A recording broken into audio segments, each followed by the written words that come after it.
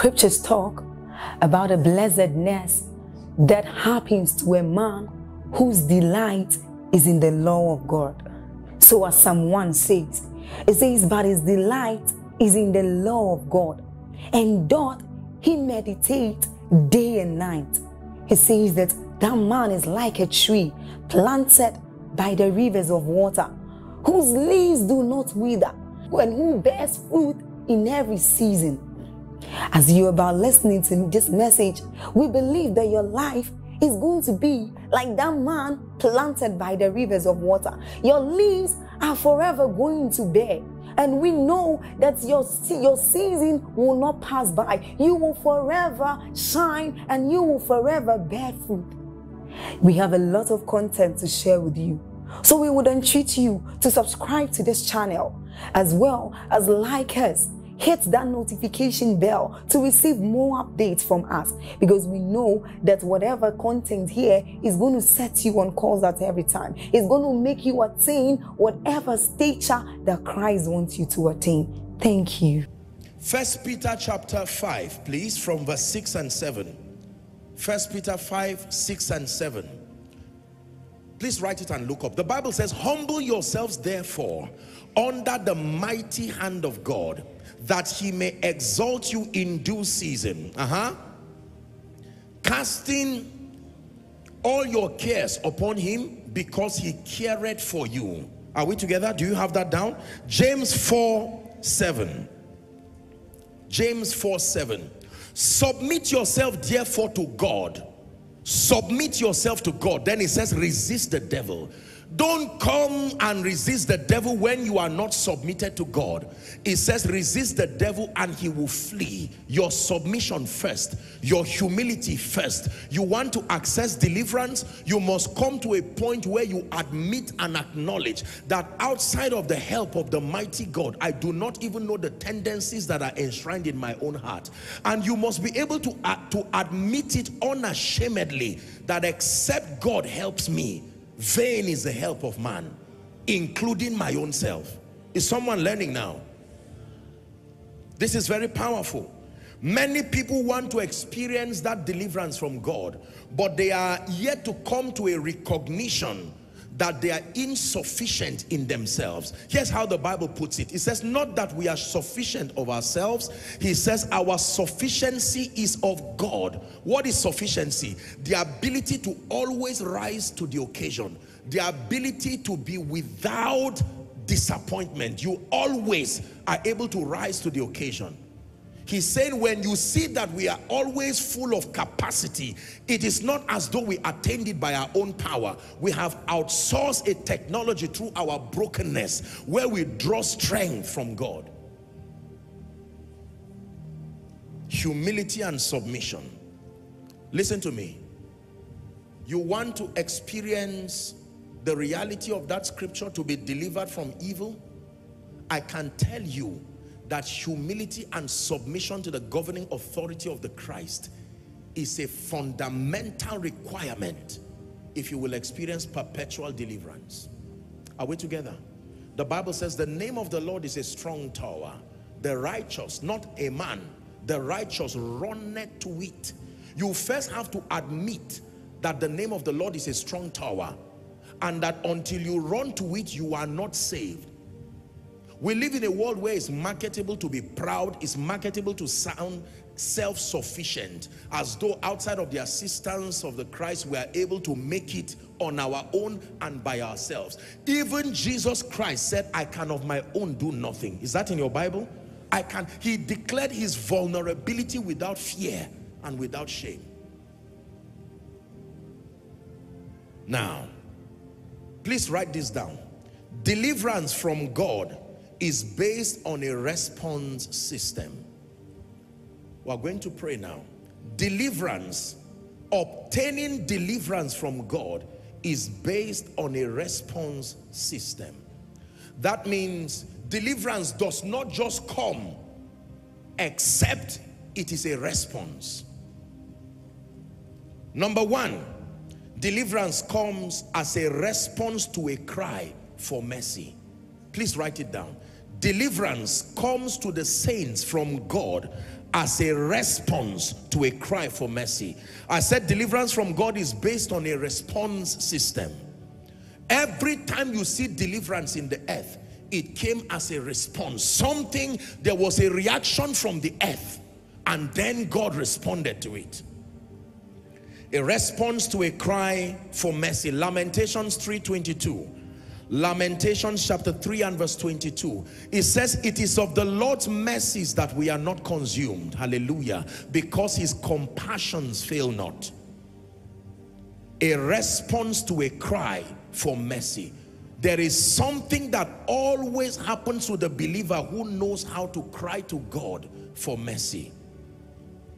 In Luke chapter 18 from verse 35, Luke chapter 18, please, from verse 35. The Bible says, And it came to pass, the story of blind Bartimaeus, that as he was come nigh unto Jericho, a certain blind man sat at the wayside begging. 36 now. And hearing the multitudes pass by, he asked what it meant. Next verse. The Bible says, And they told him that Jesus of Nazareth passed by. Uh -huh, and he cried, saying, Jesus, thou son of David, have mercy on me. This is very powerful. Next verse. And the Bible says, and they which went before rebuked him that he should hold his peace. But he cried so much the more, thou son of David, have mercy on me. God will always respond to the cry of mercy. Next verse. Reading to 43. And Jesus stood and commanded him to be brought unto him. And when he was come, he asked him, uh -huh, saying, What will thou that I do unto thee? And he said, Lord, that I may receive my sight. Two more verses. And Jesus said unto him, Receive thy sight. Thy faith hath saved thee. Verse 3, immediately he received his sight. Did you know that Jesus would have just passed and left that person like that? And his condition would have looked like it was the will of God for him to be left there. But he understood that in the economy of God, there is daily bread for everyone. And that you can place a demand even through the cry of mercy. Thou son of David, he said, have mercy on me. Thou son of David, have mercy on me. In Hebrews chapter 4 and verse 16, Paul was teaching us that we can come boldly to the throne of grace. He says that we may obtain mercy. You don't obtain mercy where you are. You must take the step to come boldly to the throne of grace by faith that we may obtain mercy and find grace to help in time of need. Deliverance from God comes to the believer as a response to a cry for mercy. Hmm cry for mercy. Thou son of David, have mercy upon my family. Have mercy upon my health. Have mercy upon my job. We have taught for a long time in the body of Christ that mercy is for sinners. So most people do not understand the potential of mercy because they don't want to make it look like they are sinners. What are you saying mercy for? Have you done something wrong?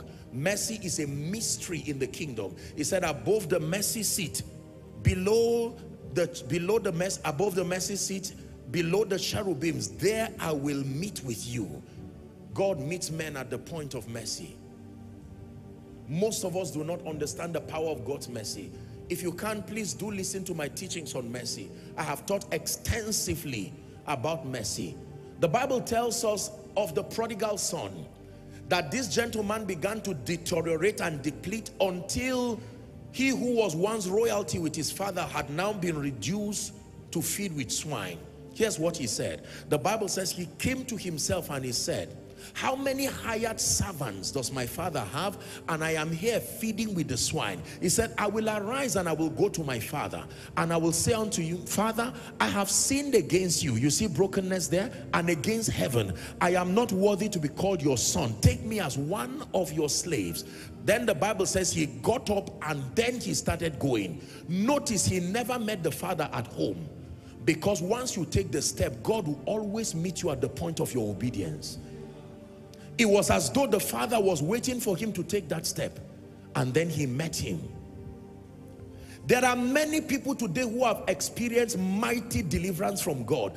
10 people can be in the same situation financially, ministerially, and a few of them will come out as if the devil does not exist because somewhere in that equation, someone knew how to cry for mercy. Lord, if you, I know that I do not understand financial principles to fund this ministry with integrity, but I cry that you are the God of heaven, and because your mercies are new every morning, show me mercy.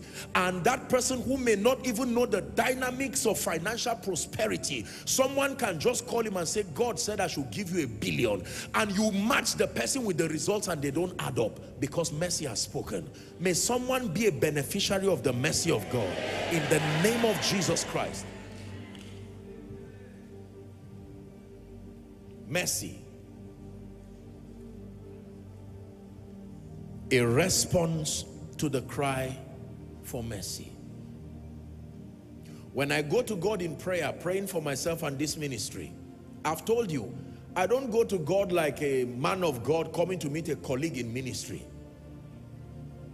I go to him expressing, not out of a standpoint of condemnation, but the depth of my ignorance.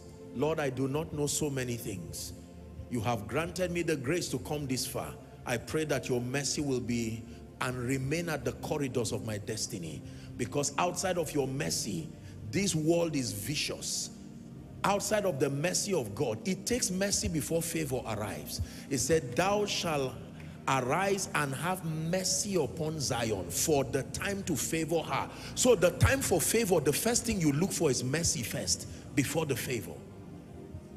Are we together? Yes. The mercy of God.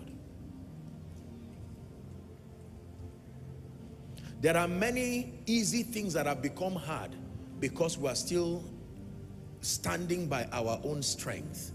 Trust in the Lord, Proverbs chapter 3 and verse 5. With all your heart, it says, and lean not unto your own understanding. It says, in all your ways, verse 6, acknowledge him and he shall direct your path.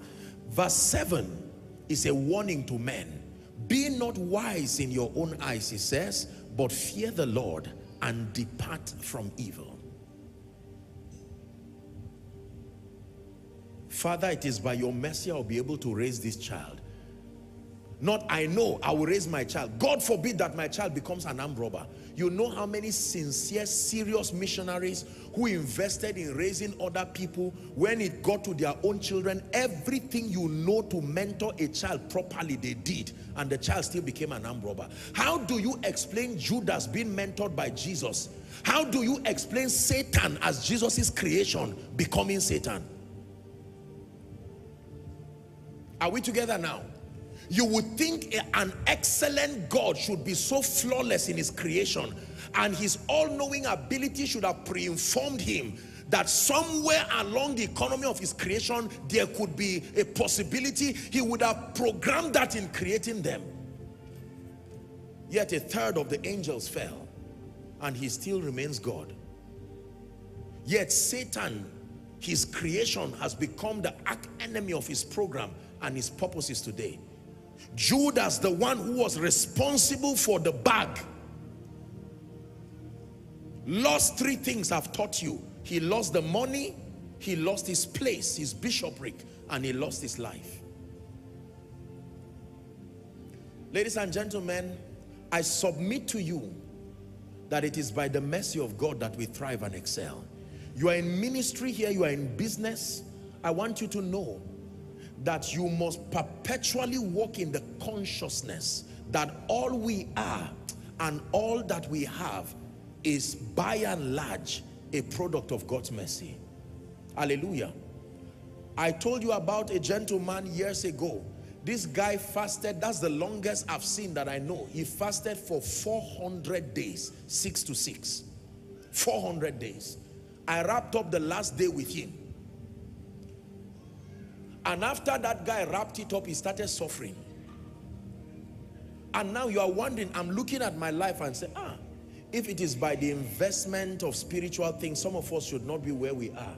But Lord, for your mercy. You see, the awareness of God, the administration of God's mercy is what brings thanksgiving, genuine thanksgiving. Where would I be If you left me now, where would I be? If you left me now, where would I be? If you left me now, where would I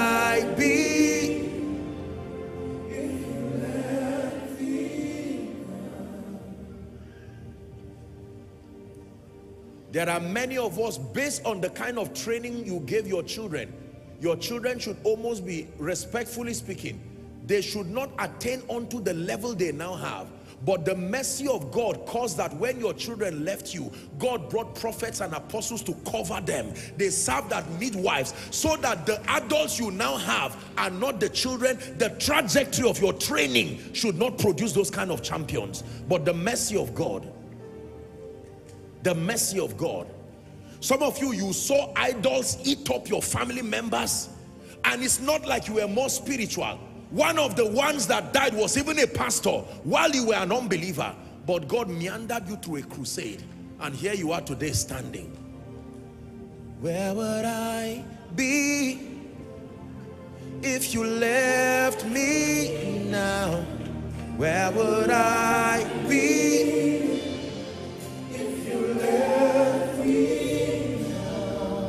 Mephibosheth, when you get to the palace, do not forget that you were that crippled young man at Lodebar. It took the mercy of God for David to bring you. So do not laugh at Ziba. Ziba had 15 sons and not one of them was favored. They were made to walk and serve Mephibosheth. He was a product of a wrong midwife.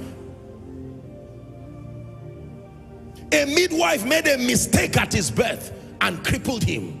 He would have remained like that. But God showed him mercy.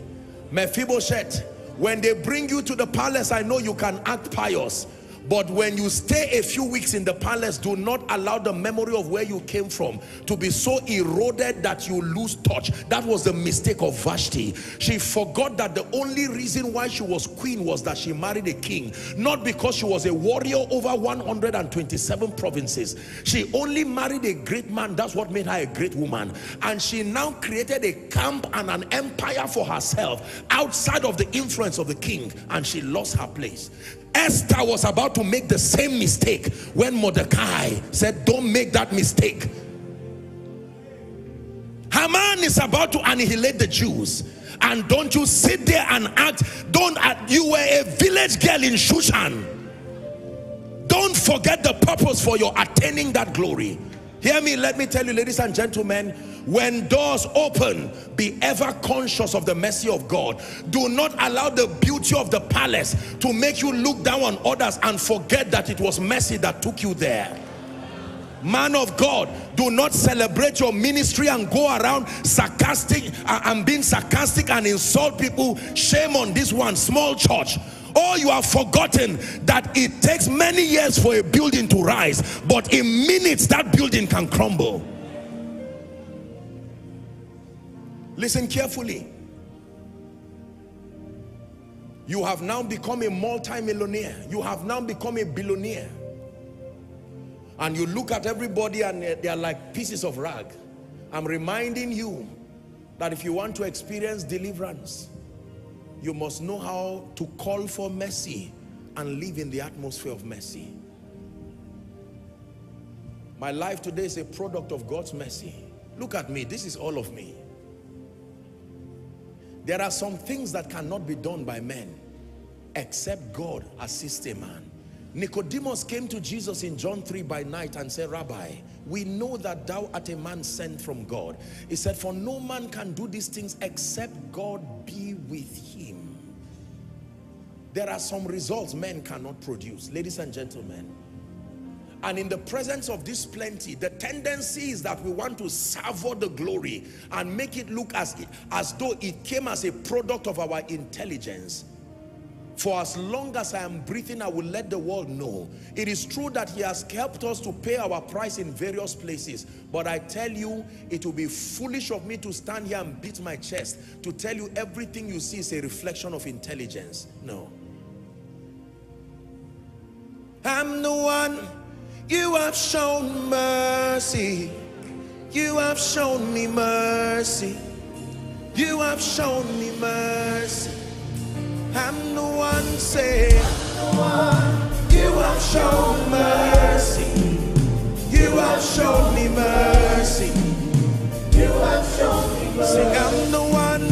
I'm the one saying, You have shown mercy. Have shown me mercy. Listen, years ago I went somewhere and I went to preach for a man of God. And when I was done preaching, I was headed to his office and I saw a gentleman who was walking as part of the protocol. He looked at me and I looked at him and I was in shock. Many years ago on campus, that guy used to be a very strong person, very vibrant and powerful. If you saw that gentleman, you would think he would explode in a global ministry within two years. And here was this, my dear brother, didn't seem like the best of states, seemed like someone who had been beaten by life and frustrated. I was almost tempted to say what happened. Then I remembered. Man, these guys were vibrant. When I say, you know what it means? Campus vibrancy is, is, is with the infancy of spiritual work. So you put your energy to it. You look beyond me, oh.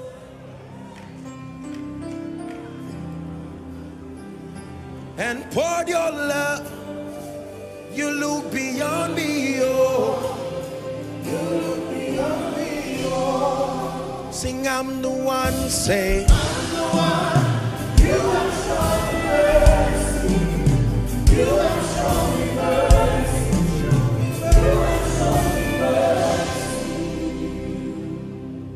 Hear me. Thank God for these great people that God has blessed me with. But I remember the crowd that was in Jesus's ministry. They were the same people who said, crucify him. So the larger they are, the more the voices that can say, crucify you. You will need to cry for mercy. Cry for mercy. And say, Lord, not by our righteousness, but it is by your grace. The, the, the deliverance power of God comes in response to a cry for mercy. Apostle, right now I do not even know. I am a man of God, but my family members have not eaten. Things have gone haywire in my life. What you need is the cry for mercy. You can cry the mercy of God to come and become a bailout system in your life. I can tell you this. Number two, let's hurry up because I want us to pray. Deliverance from God comes as a response to heartfelt prayer. Number one is a cry for mercy. Number two, heartfelt prayer. Deliverance from God comes in response to heartfelt prayer. Matthew 26 and 41. Jesus is speaking to Peter and the disciples. 26, 41. He says, watch and pray. We have a teaching on this later on. Because these two words capture a very deep mystery for surviving the evil of the times. He said, watch and pray. Watch is the product of intelligence and discernment.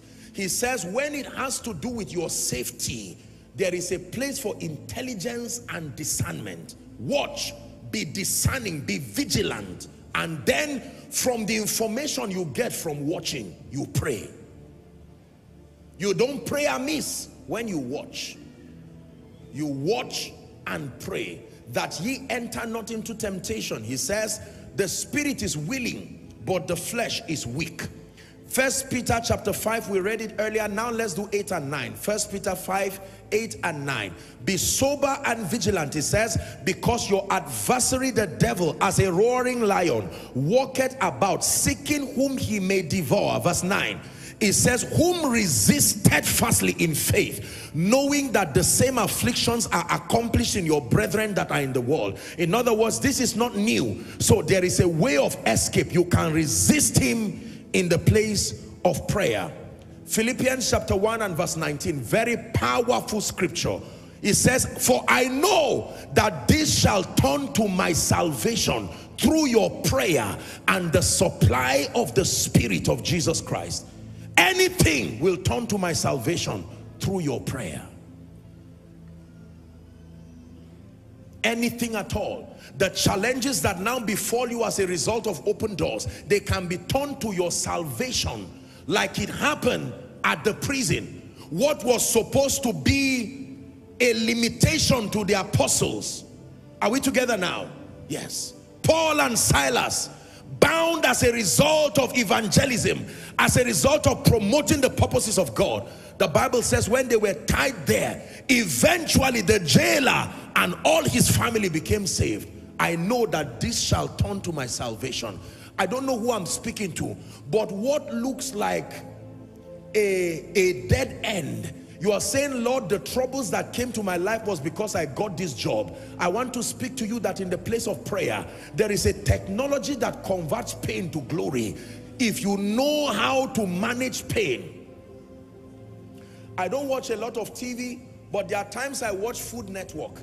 And sometimes there are competitions that they have and they give them food that has stayed overnight and they are expected to do something with that food and still produce a nice meal. Are we together?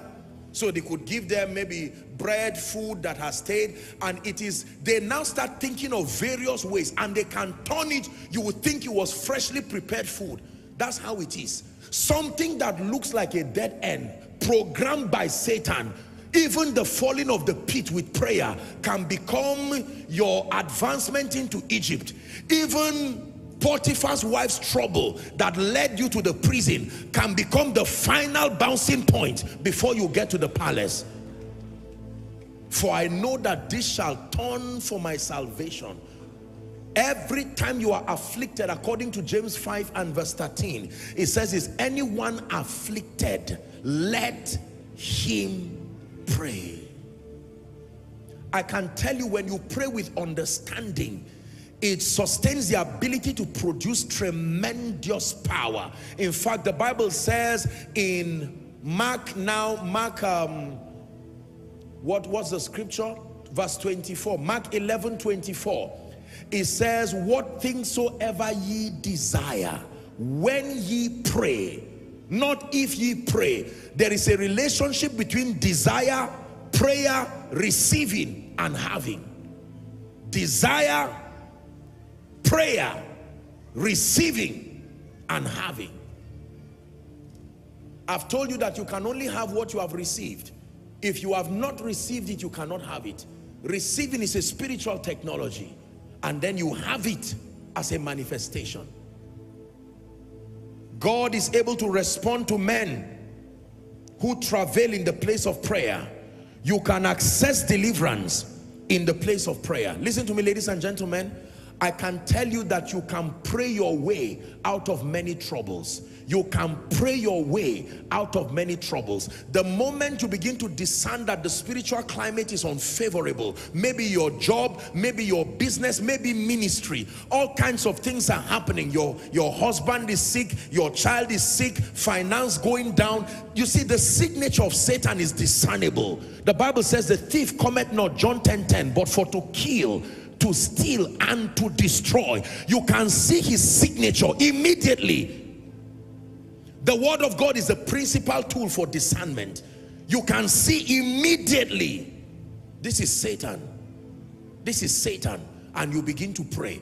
He gave us the prayer language as an advantage so that we do not work with the limitations of the mind. The mind can catch up later on, but you can begin to engage in prayer, strategic prayer it says the fervent and effectual prayer of the righteous man availeth much. Luke 18 and verse 1, he spake a parable to the end that men ought always to pray and not to faint. First Thessalonians 5 and verse 17, he says to pray without ceasing. Be consistent in your prayer. Hallelujah. The moment doors open, that is not the time for your prayer life to go down. That is not the time of laxity. Do not get caught up with the delicacy of the palace that you forget to pray. Let me tell you how to command deliverance. Esther is in a dilemma right now because she needs to meet King Ahasuerus and the ethics of kings those days were that if you if you stepped into the king's inner chamber without his invitation and he did not leave the golden censer you were dead immediately and he said Mordecai I will go. If I perish I perish. But now is the time to engage. All of us will be on prayer even with fasting. We know what prayer can do. I will go to meet the king. And she stepped in to meet the king. And the king said come. He lifted the golden censer. And that became the beginning of the process that will later become the destruction of Mordecai of Haman the lifting of Mordecai and the salvation of God's people. Prayer is powerful. Can I tell you don't fold your arms and act like nothing is happening when darkness seems to loom around your life there are seasons in your life where you need dedicated time. You should be prayerful all the time. But let me tell you, there are moments in life and destiny, kairos moments. I have taught you this. When seasons are about to change, there are many things that start happening to you. One is an unusual desire to give.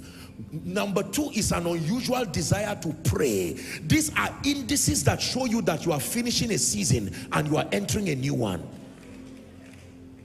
When Jesus was about to go to the cross, from the communion table, he went straight to Gethsemane and the Bible says he prayed, repeating the same words.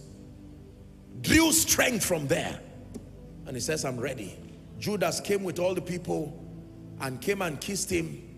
And he was able to build the stamina to survive until he gave up his life on the cross. Can I tell you, if you turn aside in the day of battle, the spiritual diagnosis is that your strength is small. Not because victory is not possible. You need capacity in the spirit. I pray that God will raise CEOs that pray. I pray that God will raise preachers that pray. Pray for me, pray for me is the plague of weak people. Yes, there is a place for intercession, but let me tell you, everybody who is rising must master the mysteries of the altar. You must know how to hold on to the horns of the altar until you command perpetual victory. There are certain burdens of leadership that come upon you if you do not know how to flog out the destinies of people in the place of prayer. You will raise a weak and a defeated people. Prayer is powerful. You lock up yourself. What is happening? In this ministry, it looks like doors of favor is closing. It looks like all kinds of things. We discern the signature of darkness. Father, we call upon you. You are the deliverer. As a family, you find out that you're rising, you're excelling. God is distinguishing you among your, your other people within the bloodline perhaps and it looks like it's coming with corresponding consequences. Now you have intelligence to know that it is nothing unusual. It is part of the battles that come with growth. It is the implication of open doors. There are giants on every mountain. Don't desire the mountain without holding the tools to fight the giant. Be like Caleb. He said, let us go up at once. We are well able. Hallelujah. You must know that deliverance comes in response to prayer. I can tell you, you can pray negative seasons out of your life. You can pray unfavorable seasons out of your life. There are times you take God seriously and take your destiny seriously and engage in the place of prayer until your light breaks. Are we together? Prayer does many things. It supplies the fire that exposes evil. There are times you are even confused. You do not even know what is happening. Prayer in partnership with the word is what begins to filter the happenings beyond the realm of the sight to dig deep into the spirit and know what is really happening. Because you see, judging by the flesh, you are going to misjudge so many things. Prayer filters your perceptions until that which is true is what stands there was a viper hiding in the midst of the wood. But for as long as there was no fire, the viper was comfortable. The moment the wood was lit, the viper was exposed.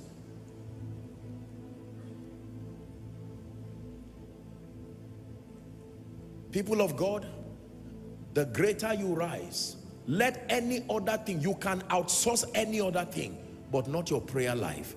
Outsource those who come to wash your cars, outsource those who come to clean your house because you are busy, outsource a secretary, outsource any other person, but in addition to the people who intercede for you, you must independently understand that there is something about heaven's response to your voice.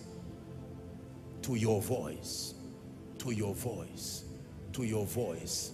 There is no end time ministry that will stand without a proper, consistent, ever-growing investment in the place of prayer. There is no business that will stand. I told you this. You cannot be the same person leading the field, expanding in your business, and you believe that Satan will fold his arms. Have you forgotten in the Bible where a few people bound themselves with fasting and said they will not eat until Paul died? Men can go that far for your downfall. Just because you are not wicked does not mean other people are not wicked. Not all men have faith, ladies and gentlemen. Someone can sit down and say, we see the children in this family rising. Let's see who else rises. The little work that I've done for the Lord in the ministry has shown me many possibilities that I probably would not have believed existed as far as the administration of evil through the hearts of men is concerned. Ladies and gentlemen, please make sure you are people who understand the dynamics of the altar. My goal is to help you and support you with knowledge and to guide you. But you must pray. You must pray. You must pray. We live in times where you must understand the place of prayer. Don't say, I am weak. Start from where you are. Number three, deliverance from God is based on a response to praise. Deliverance from God is based on number one, a cry for mercy. Number two is based on heartfelt prayer. Number three, deliverance from God to the saints is based on a response to praise. Psalm 18 verse 1 to 3. Psalm 18, verse 1 to 3. I will love thee, O Lord, my strength. Verse 2. It says, the Lord is my rock and my fortress. He calls him my deliverer my God, my strength, in whom I will trust, my buckler, the horn of my salvation and my high tower. Let's read verse 3 together. Ready? One to read. I will call upon the Lord, it says, who is worthy to be praised. By that formula, hold on, by that formula of calling upon the Lord and adding it with praise, shall I be saved from my enemy. He was revealing a formula that I will call upon the Lord who is deserving of praise. So by prayer and praise shall I be saved from my enemy. If you are Paul and Silas and you find yourself in the prison, it is prayer Exodus chapter 15 verse 1. Please give it to us. Let's hurry up. They sang Moses and the children of Israel. Then sang Moses and the children of Israel this song unto the Lord. Watch the song that they sang. This was after deliverance. Watch this now. They had just been delivered from the Red Sea. I will sing unto the Lord, it says, for he hath triumphed gloriously.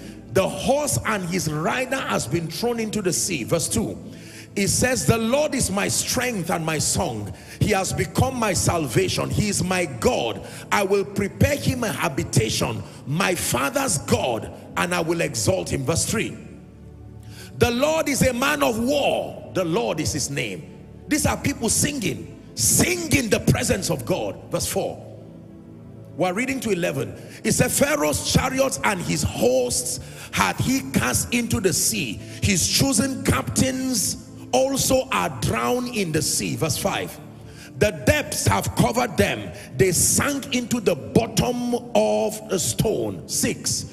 Thy right hand, O God, is become glorious in power. I hope you know this is a song. Thy right hand, O God, had dashed in pieces the enemy And in the greatness of thy excellency hast thou overthrown them that rose up against thee.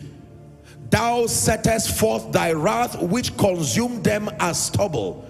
8. And with the blast of thy nostrils the waters were gathered together.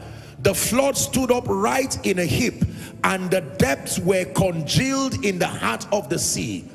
9 the enemy said i will pursue i will overtake i will divide the spoil. My loss shall be satisfied upon them. I will draw my sword my hand shall destroy them. Verse 10 it says thou didst blow with thy wind. The sea covered them. They sank as leads in the mighty waters.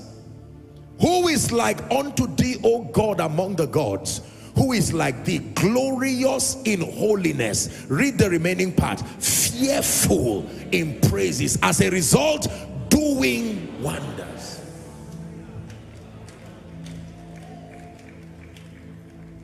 God is fearful in praises. And the moment he arises as that warrior, the next thing you see are his wonders.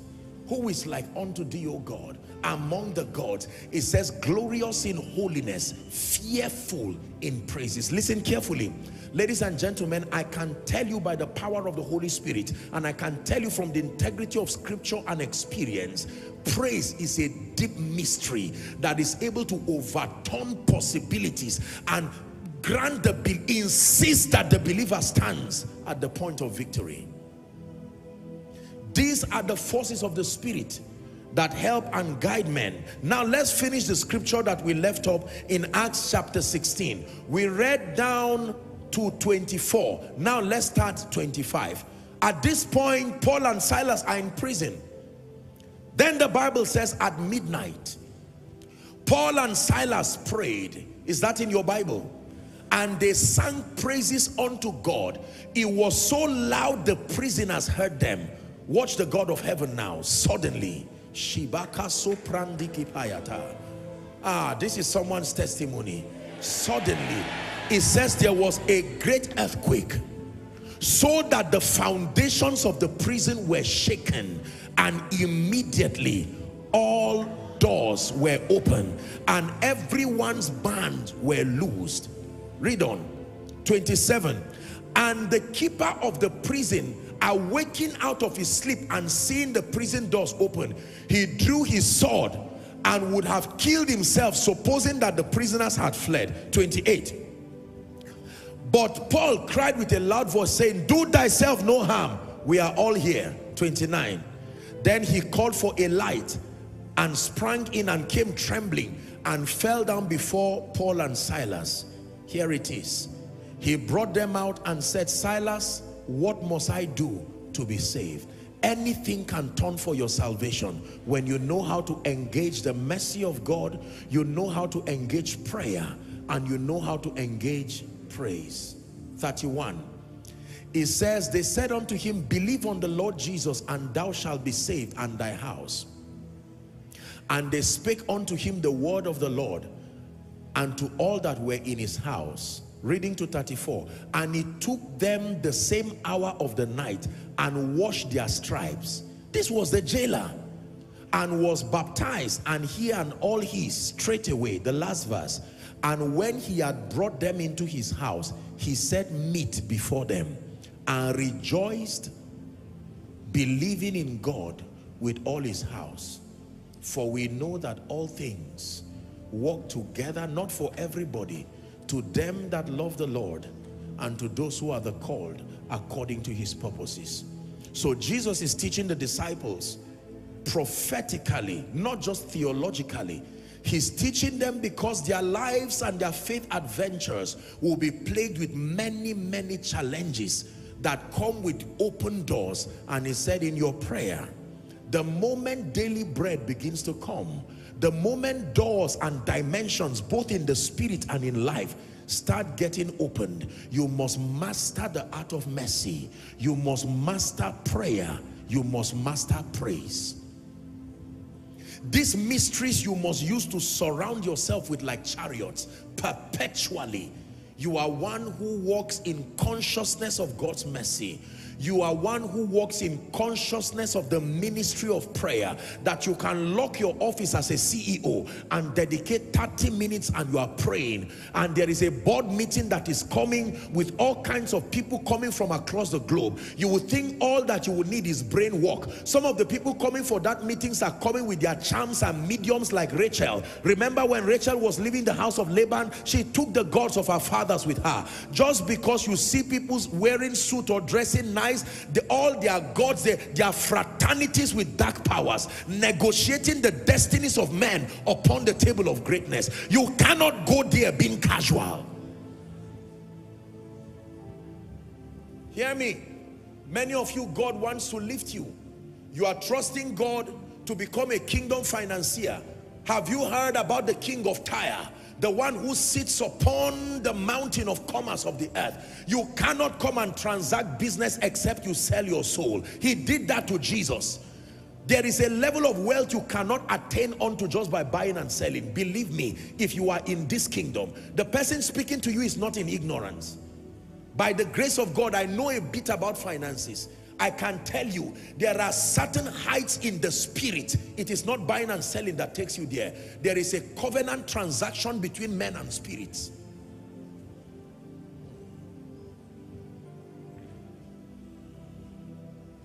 Do you believe that? Please believe. Oh. If you suddenly return a billionaire tomorrow, people will not say, what did you do? They will say, where did you go to? This kind of result is not about what you have done again where you you must have gone somewhere and they are right. A man goes to bed and sleeps in the night and has a dream. In that dream he receives an impartation of an understanding heart and then he's also given access to wealth like no other person. And then he wakes up and his fame spreads abroad. Resources start coming. Remember it will come through men but it is still controlled from the realm of the spirit when Job lost everything that he had Job lost everything but he did not lose his relationship with God and his ability to sustain, to capture the mysteries of the Spirit. In Job chapter 42 and verse 10, the Bible says, God turned the captivity of Job when he prayed for his friends. And the Bible says the Lord gave Job twice as much as he had.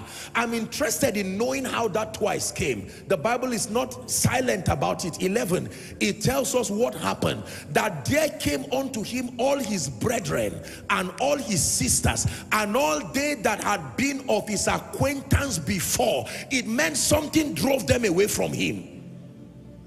Now they came and did eat bread with him and in his house. And they bemoaned him and comforted him over the evil that the Lord had brought upon him. Here's the secret. And every man gave him a piece of money and an earring of gold. All blessings come from God through men to men. That's how he got twice everything he lost. Abraham, who was broke, how did God prosper him? He went to Egypt and then Abimelech was going to take his wife. And God warned him and said, if you touch that man's wife, you're already dead. And Abimelech said, sorry, I will not only leave your wife, I will give you gold and all kinds of things. And he left with it. Listen, ladies and gentlemen, your possibilities in this kingdom are based on the mysteries that you know and you can handle in the spirit. Dominion and stature is, is possible when you stand upon this mystery. These things are not cunningly devised fables. They are the mysteries that men transact with in the spirit and it produces the possibilities that we enjoy in the earth realm. Hallelujah. Jesus said, deliver us from evil. The doors of persecution will open as the doors of increase come too. The doors of witchcraft, manipulation, and attacks will come. A day will come where you don't need to ask if anybody has taken your name to a shrine. What you will be asking is how many, not has it gone there. There is a level in the spirit where while you are calling upon the name of the Lord, there are people who will be praying perpetually there are realms where Satan does not want you to backslide. He wants you to die. Because even in your backsliding state, you are still dangerous. He wants you to die. Are we together now? Ladies and gentlemen, please hear me. what you have learned and you are learning are irrefutable secrets of the kingdom that guarantee your rising. But if I did not teach you what you learned today, many of you will be surprised that God will call you, dear Mary, thou favored one. And the next thing, here comes the scribes and the Pharisees asking you questions and saying this vision that came without the assistance of a man, you need to explain it. How did that pregnancy happen without the natural process of conception? They will say. How did you become a millionaire without cutting corners? Are you sure? Are you really sure? The Bible says in Ephesians chapter 3 from verse 10 and 11 to the intent he says that now unto principalities and powers in heavenly places. All of the things when you read from 3 Ephesians 3 and verse 3 Paul began to speak how that by revelation it was made known unto him the mystery as he wrote in few words. Verse 4, reading to 5, it says, Whereby when ye read, ye may understand my knowledge in the mystery of Christ, which in ages past, it says, were not known to the sons of men, but had now been revealed to his holy apostles and prophets, even by the Spirit. Go to verse 9.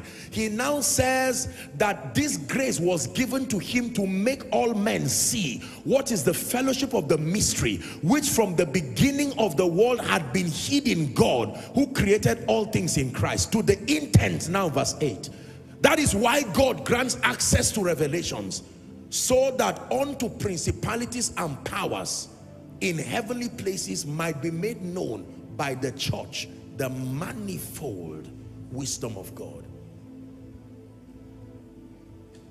the manifold wisdom of God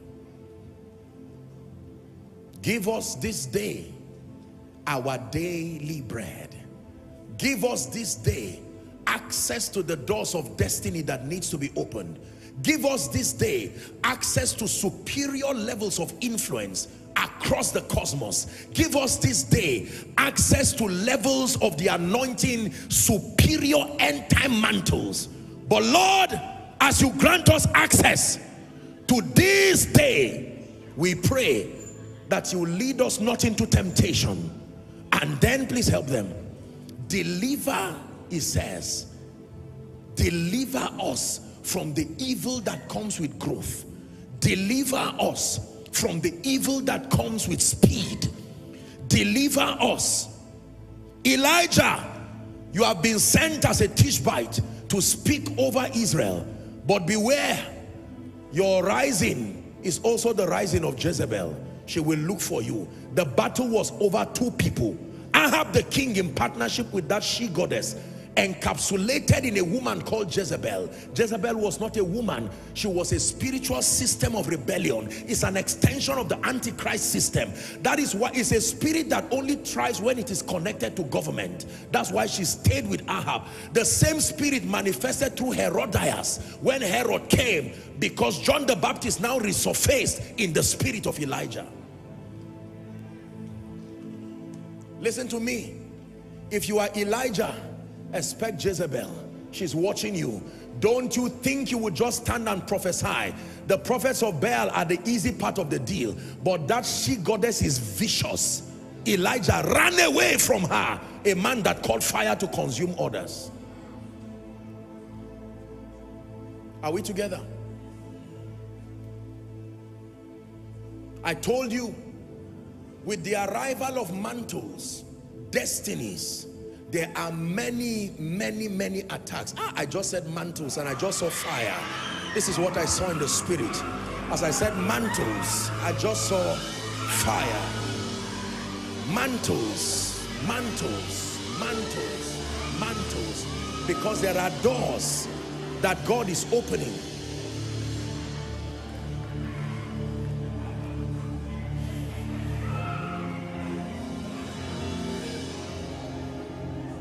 Ladies and gentlemen, please hear me. There are dimensions that have not yet been made access accessible to anyone in your family. Now you are coming from behind like Joseph. Not the first, but the chosen. Not the first, but the chosen. And those doors are about, you have mastered the art of saying Ephata. for the doors to open you have to understand how to now hold the sword. Because let me tell you the truth. Warriors do not just speak warriors fight. Warriors do not just speak they fight. They are men and women who must know how to hold the sword of the spirit and fight with valiance. You can't turn back your turning back will be the destruction of a generation. It says seeing then that we are surrounded by so great a cloud of witnesses. Let us lay aside every weight and the sin that doth easily beset us and it says to run with perseverance. There is no going back not for the warrior. You master the art of using the sword and you fight with valiance say blow the trumpet in Zion. Sound the alarm upon my holy mountain. And he begins to describe a people so vicious. He said before them is as a garden of Eden. Behind them a desolate wilderness. These are men that can fight. I have fought a good fight he says.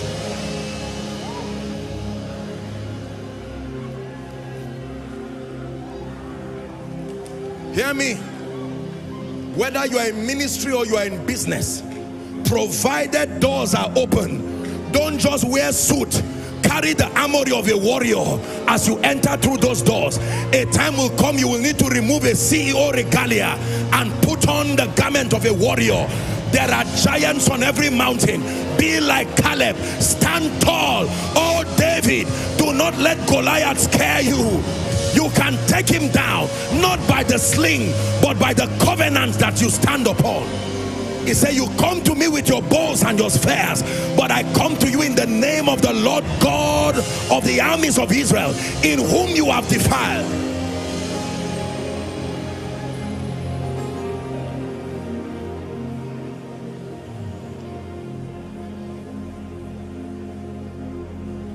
Listen, we're about to pray, but ladies and gentlemen, please hear me. The prayer deliver us from evil some of you, the doors that are opening right now, you came to church with questions about the happenings in your life. What is suddenly happening to my health?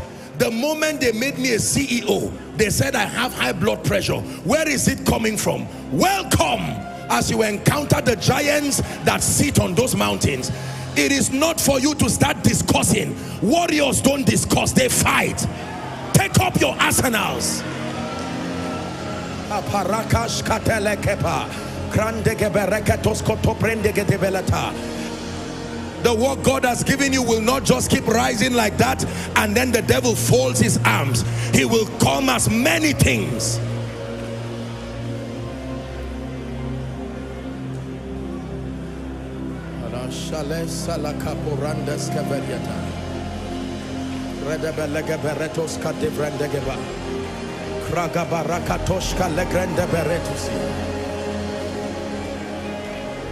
Hallelujah.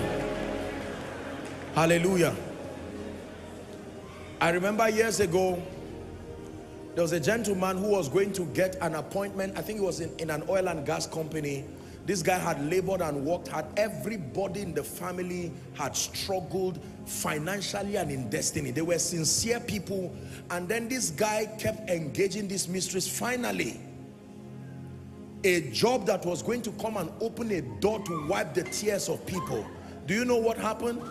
This guy slept and suddenly started having all kinds of funny dreams. This was according to him and then they would they, he was supposed to bring a report of medicals. And there were specific hospitals they were to go to. From nowhere this guy was diagnosed with something that was going to make him lose that job. I remember very clearly he reached me and said I've never been like this. I this this was my genotype. This is my blood group. This is this. Where did this one come from and I told him, I said, my friend, let me tell you, if you are interested in that job, you need to know that Satan has determined a threat that in your rising is the rising of many. Instead of fighting everybody, he should fight you. Hear me. Listen to me, ladies and gentlemen. There are men that are equal to nations. Instead of Satan fighting nations, he will focus on fighting them. If he can fight the mantle upon your life, that would be equivalent to fighting a million people across the globe. If he can fight your ministry it is cheaper than fighting all who will rise from you. If he can fight your business he is by extension fighting all those who look up to you for direction and inspiration. It's time to fight the fight of faith I told that gentleman I said I will pray for you. The devil is a liar. Don't believe that nonsense. Here is an opportunity for your rising to help wipe the tears of your family. Hallelujah.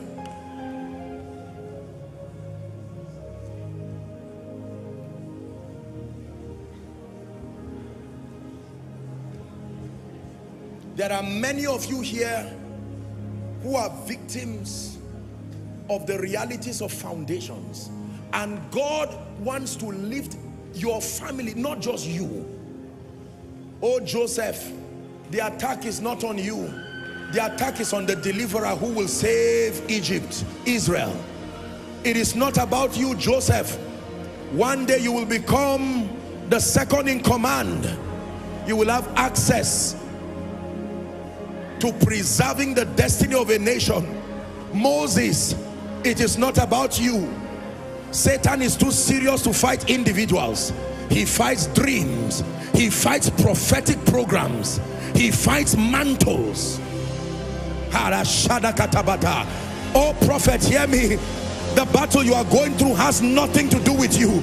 It is a mantle that you are carrying, an apostolic and a prophetic mantle Satan was there when prophecy was spoken over you.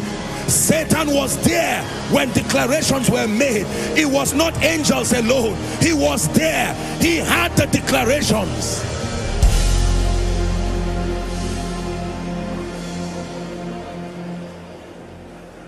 Listen, did you ever ask why Satan kept moving through the scribes and the Pharisees to ask Jesus who he was? They met John the Baptist and said, are you that one? What was Satan looking for? He didn't say, why are you here? There, there was a person they were looking for.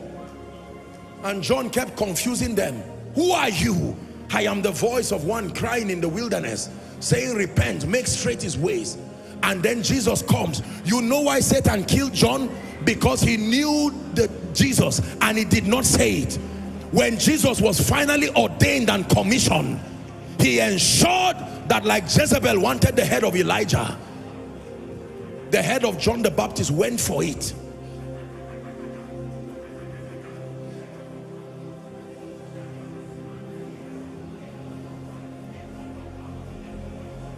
I shared with you my visions. Years ago, I was praying one night and then the roof, the ceiling of my room just disappeared. And I'm seeing this creature that is standing before me. A giant creature looking like a dinosaur.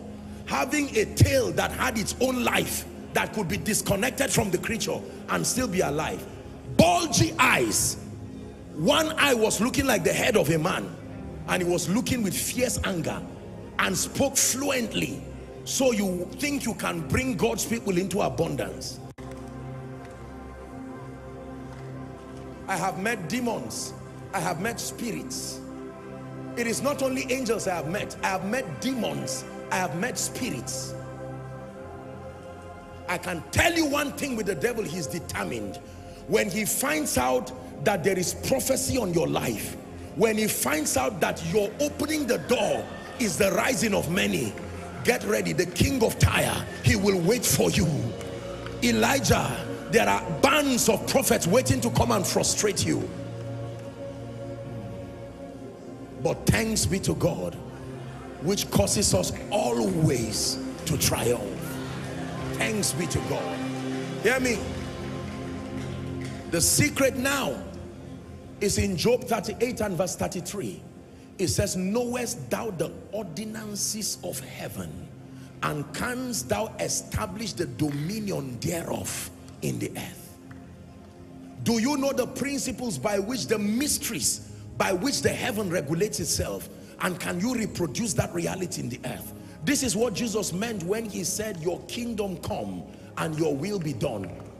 capture the principles, the modus operandi of the spirit and reproduce it within your life, within your sphere. And you truly will begin to walk like a God upon the earth. Psalm 82 and verse 5, he says, they know not, neither will they understand. They walk on in darkness and all the foundations of the earth are out of course. Verse 6 says, I have said, ye are God, and all of you, not some, are children of the Most High. The next verse says, but you shall die like mere men and fall like one of the princes. I made up my mind that as far as it depends on me, as far as it depends on me, I will not only force those doors to open, that everyone behind me, it says, I and the children that the Lord has given me, we are for signs and for wonders. You are not the only one who came from a bad background. Find out where Jesus came from. Nathaniel said, can anything good come out of Nazareth? And Jesus did not say you are lying. Because the most popular Nazarene that they knew died in a very painful way. The man called Samson. That there was a spirit that followed great Nazarenes. Even though they were people who had a covenant with God. And would just destroy them at the prime of their life. Nathaniel said, don't waste your time following Jesus. There is something in his foundation. His success will not last. And Jesus sees such a man and says, an Israelite indeed, in whom there is no guile. In other words, from the sincerity of his heart, what he's saying is true. I know it is true that people who come from where you are from never rise beyond a certain threshold. It is true until your access to the mysteries of the kingdom rewrites that script.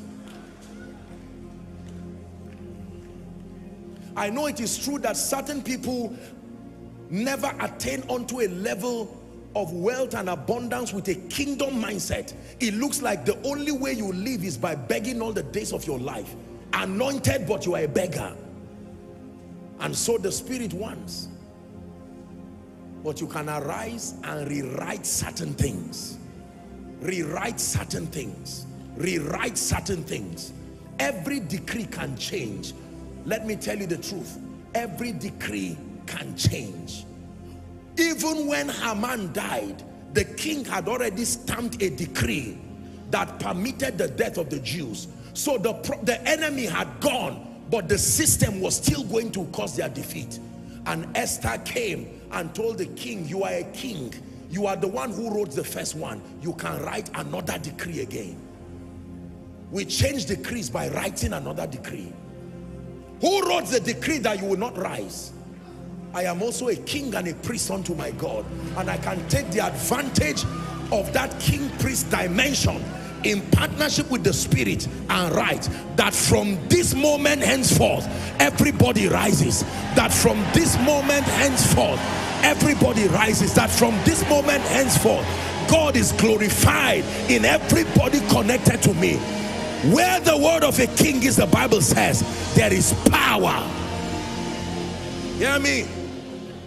If the power from your royalty does not speak it means that your scepter of honor and authority has not been given to you or the consecration that ordains you as a king is not there or you have refused to use your authority to declare. But hear me oh David when the oil comes and the scepter comes and the crown comes you are king. You are king. You are king. You are king.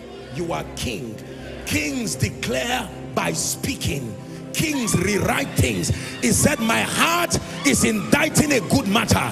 Yeah i speak of excellent things that my tongue is the pen of a ready writer. I can rewrite possibilities in my life and in the lives of others. Ruach Elohim. Ruach Elohim.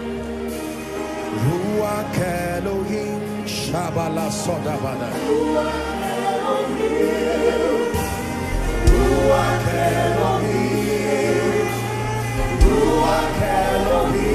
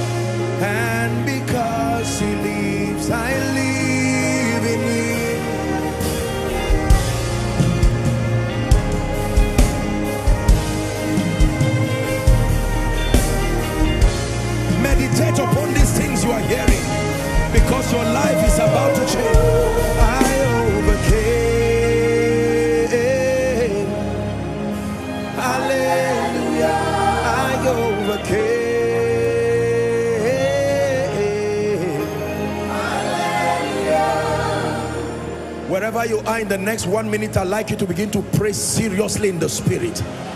Go ahead and begin to generate energy in your spirit, man. Shabrakata.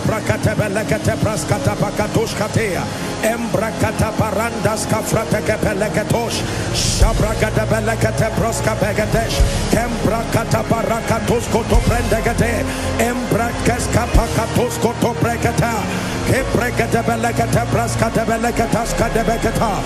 Embrantos koto bekete belekete beta. In the name of Jesus, overcome us by the blood of the Lamb. Lead us not into temptation.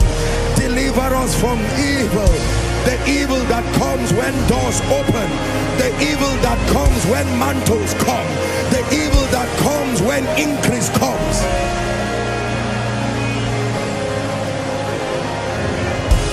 Shada barakata braskata belekatos.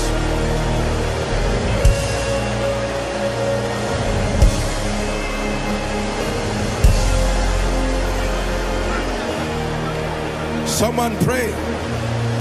Shada belegede belede balada bosh. Kabrakate belegede bashkada brandegede berekos kadiata.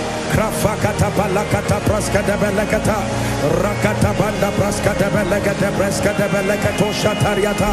Enkrakate berekate berekos koto balakatos yata.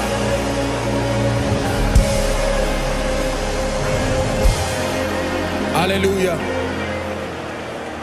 Just two prayer points and we're done for tonight. I'd like you to begin to invoke the mercy of God across every aspect of your life that it seems the devil is taking advantage of. Oh, by the mercy of God, the Lord rebuke you. I call forth the mercy of God. Someone go ahead and pray.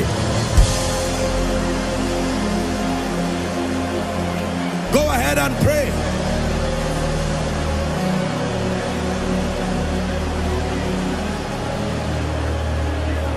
invoke the mercy of God. I plead the blood, I plead the blood, I plead the blood. I plead the blood, I plead the blood, the precious blood.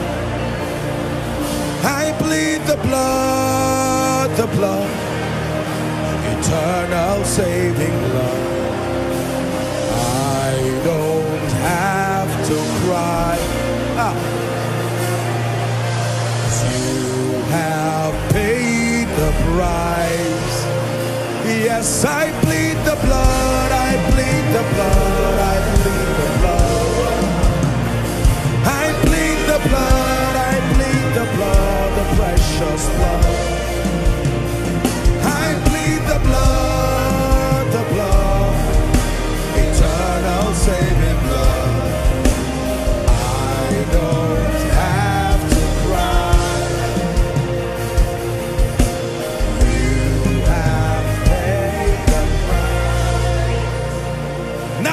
your mouth and declare, Satan, the Lord rebuke you.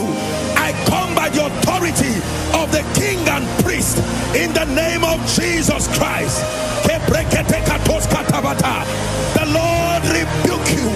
I invoke the power of Elohim. I rebuke you over my life, over my health. Someone pray. The Lord rebuke you. Rebuke you. The Lord rebuke you. The covenant of the God of David fights you.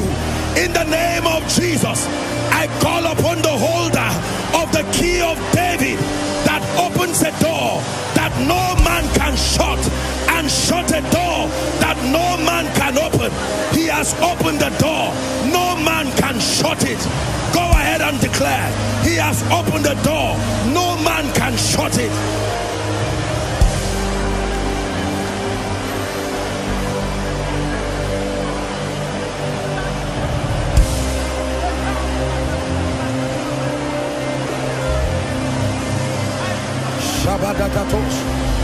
Speak over your ministry. Speak over your family. Satan, thus far have you come. No further shall you go. The Lord is against you. In the name of Jesus. The Lord is against you. In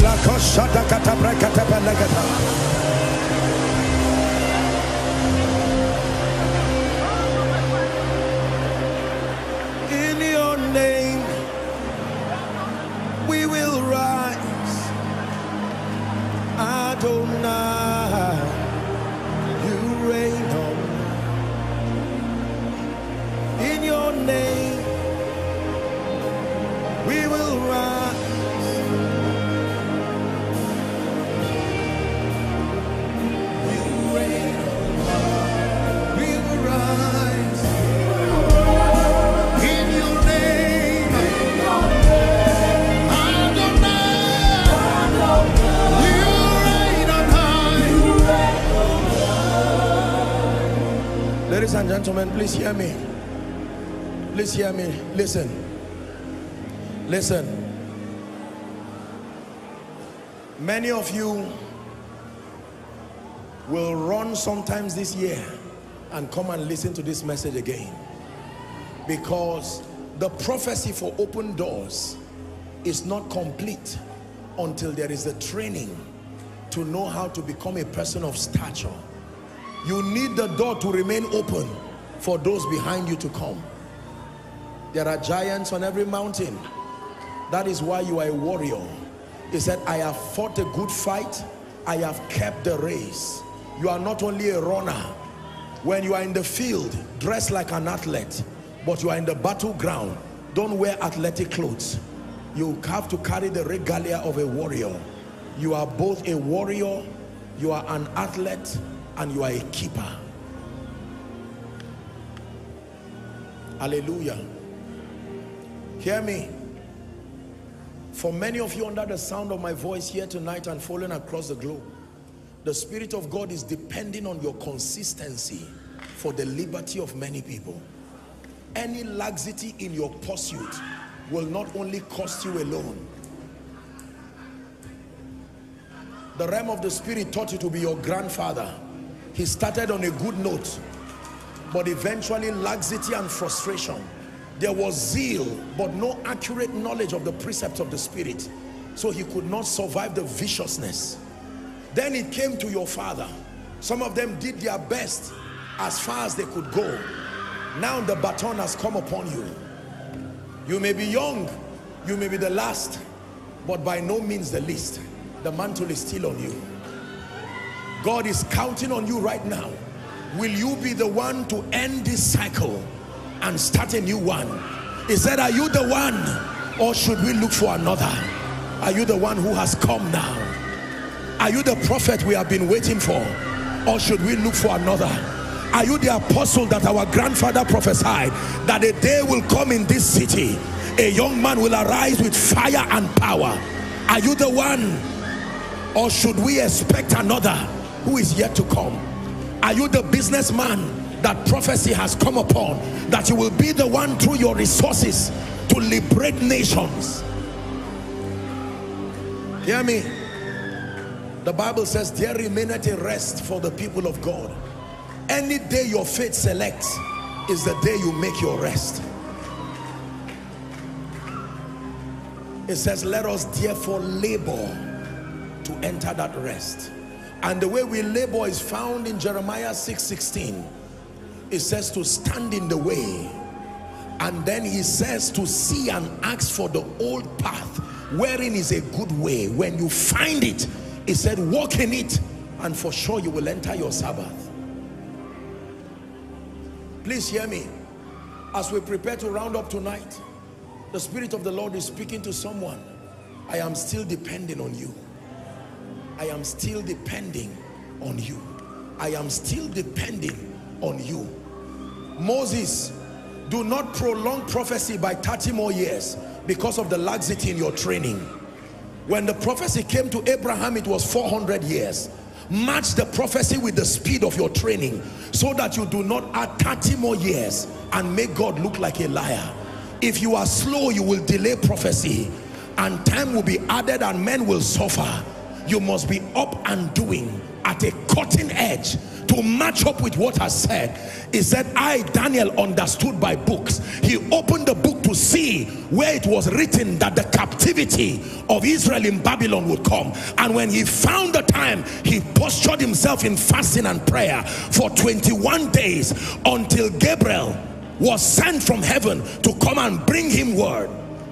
And while he was coming the prince of persia the spiritual wickedness that resides in the heavenlies he stopped him and he maintained in persistence an archangel michael.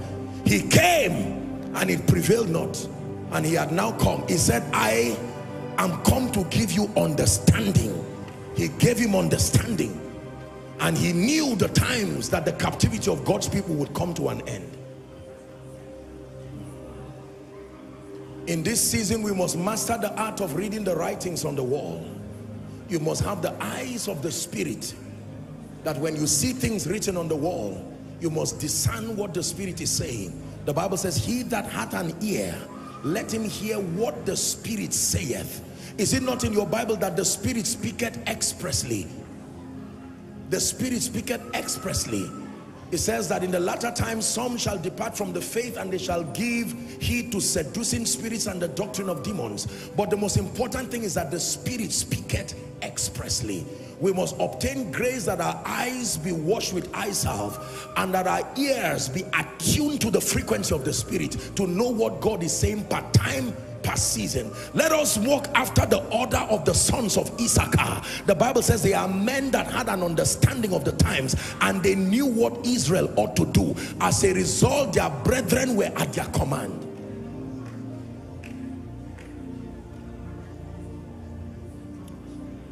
There are names.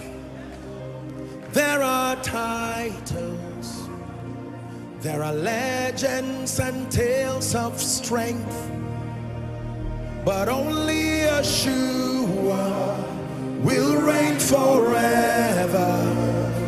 To his kingdom there'll be no end. There are names, there are names, there are titles, there are legends and tales of strength.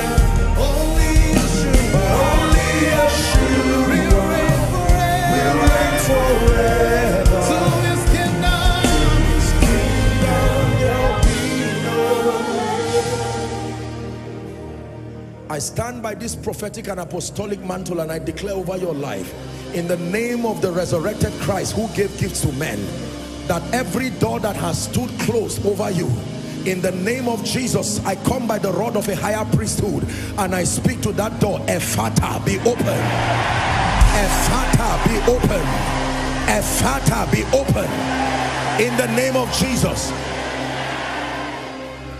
It says and thou O Lord will teach my hands to war and my fingers to fight. I decree and declare in the name of Jesus the strategy for victory that you have now received. Obtain it and last through your open doors. Last through your open doors.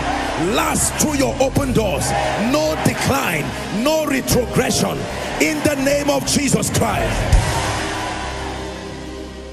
You hear me.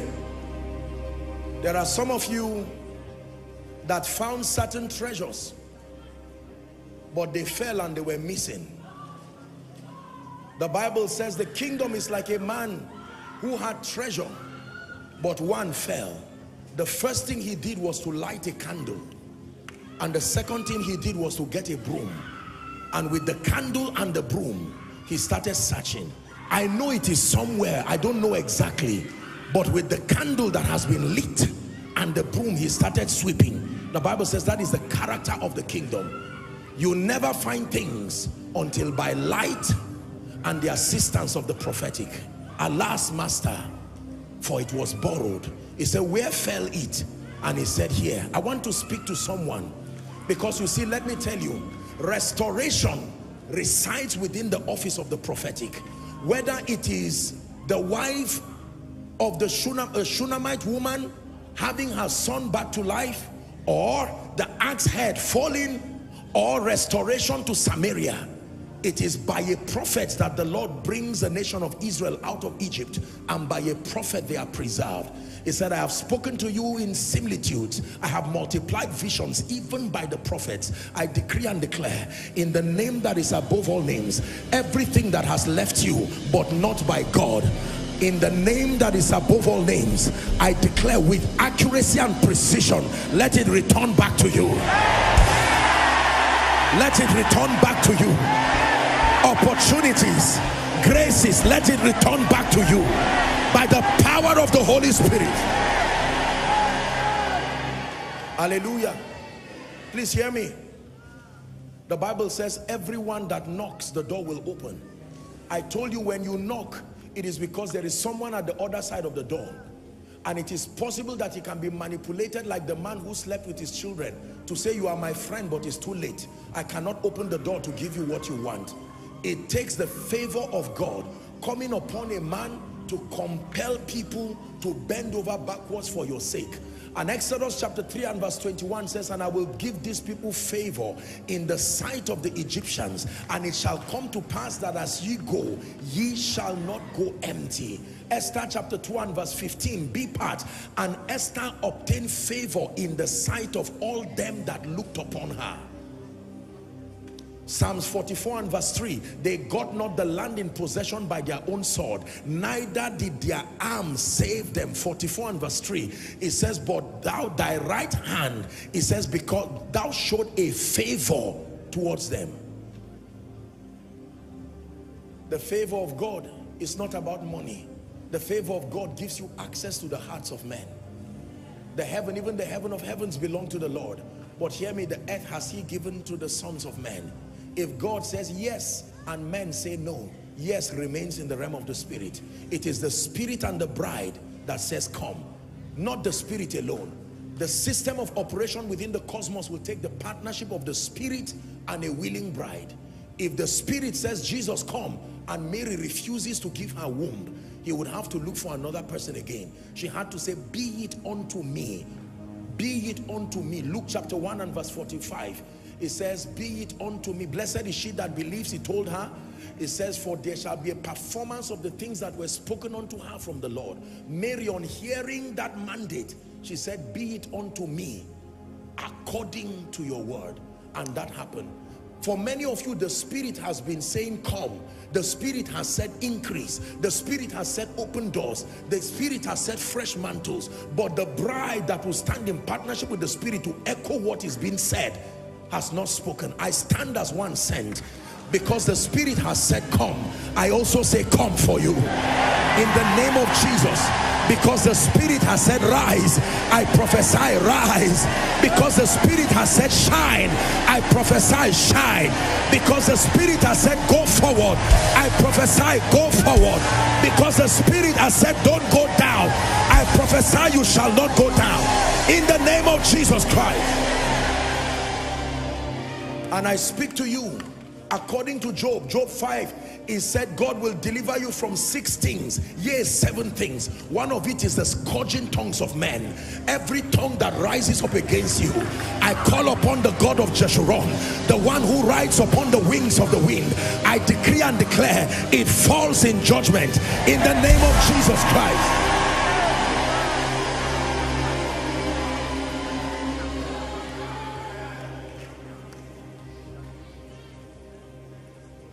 Can we take one minute to pray for Nigeria? Are we responsible enough to lend our contribution? We have to pray. The election is by the weekend. It is everybody's business. We are going to cry. We need God to arise as a deliverer. Are we together? Yes. I don't do partisan politics, but it is my desire.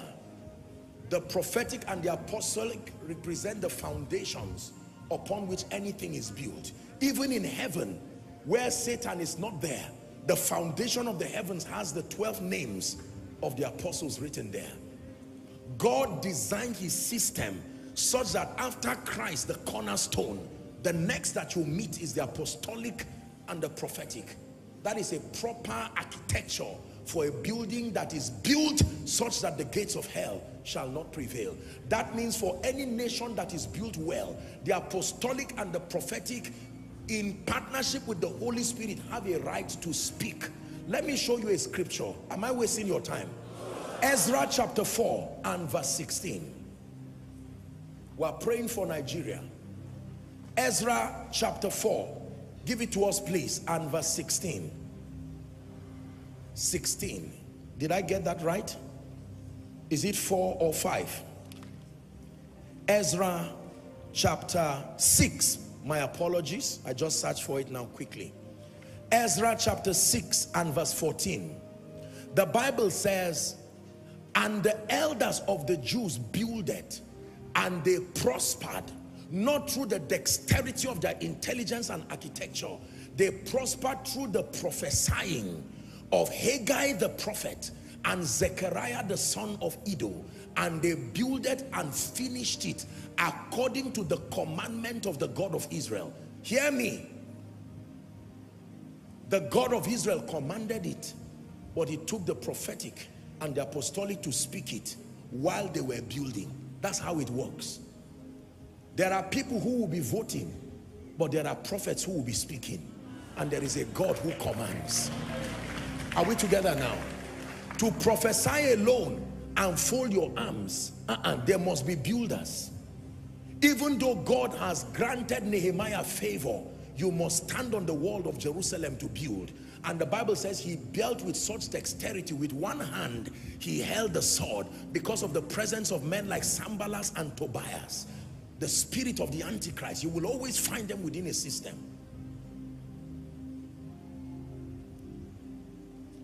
Can you sing for us the national anthem of Nigeria in one minute? Do you still remember? Because many people don't know the national anthem again. You must sing it, whether you know it or not. All right, so. Arise,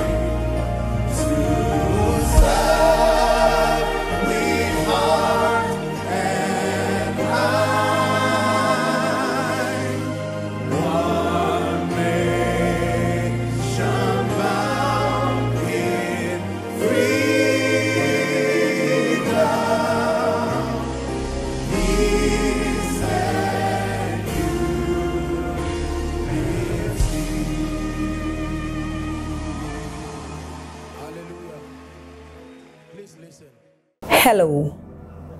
Scriptures exhort us from the book of Proverbs. It says, My son, attend to my sayings, incline thy ears to my words. Let them not depart from thy eyes, and keep them in the midst of thee. As you have listened to this message, we believe that you are going to reap the blessings thereof if you attend to these words as well. That you will keep these words in the midst of your heart. That no matter the circumstance, your eyes are going to be fixed on these words. And as you have been blessed, we will tell you to share this message. Be an evangelist by sharing to others to be blessed. And then subscribe to this channel for us because we have loads of videos, we have loads of content that is going to make you blessed, that is going to set you on course, that is going to set you ablaze. And don't forget to like for us. Thank you.